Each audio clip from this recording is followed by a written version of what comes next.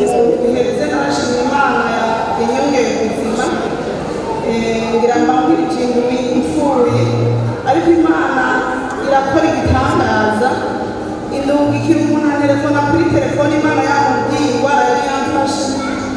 Ahama arambwira ati kugurura watsapu mukereke musengere sindamuzi yavuga igiswahili n'igifaransa.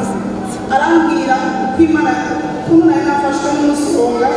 Ingene niriwe mu bitaro byo navuye ku kazi Eh, baca bancisha mu bitaro abo muri bisi abantu tutazinanye nta n'umuntu yagirishije bisi caja mu bitaro sinarishoboye no kuryama kandi ndembe muga bantese no kuva saa mbiri kuzogeza cumi na zibiri nicaye numva ndushe ntashobora kuryama ntagira hama rero uwo muntu arambwira ko imana yabimubwiye no haba umuntu atanakijijwe ngo arondere kumusengera ati jesi menyereye gusenga nta n'ivyonzi mugabo imana yambwiye uwo muntu. Acambwira ati rero namushikiriye. Ati niwugurure watsapu hama agusengere mujana.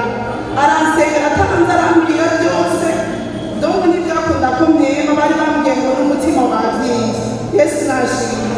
Rero ni ukuvuga bamaze kumpima barambwira ngo umutima wavyimbye komeze nabi ninjye mu kumpima amaze kunsengera arambwira ati imana iragukijije arambwira ama exercice nkora ndayakora numva birakunda.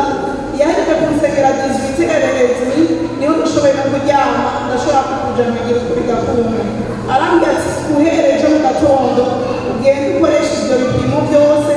Ibyo bagutumije nta nibyo nabonye muganga ndafise imana ibipimo yambwiye bakubwiye ndagenda kubikoresha. Bamaze kunkorera ibipimo barambwira ko umutima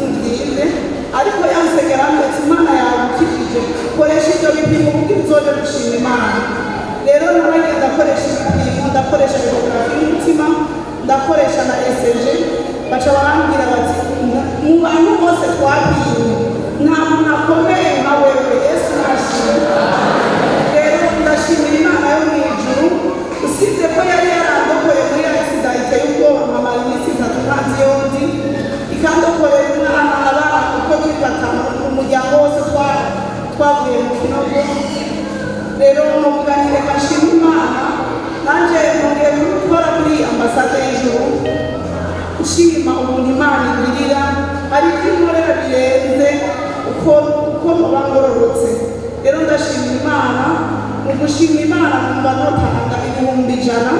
Tuzotanga ibihumbi ijana ku bw'umuryango wanjye kuri iyi ngoro yiyongera ku bindi twari twasezeranye. Yesu nabaheza